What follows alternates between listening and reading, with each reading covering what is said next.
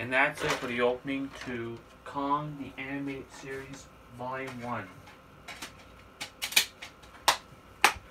And that's it for this video. See you later. Bye.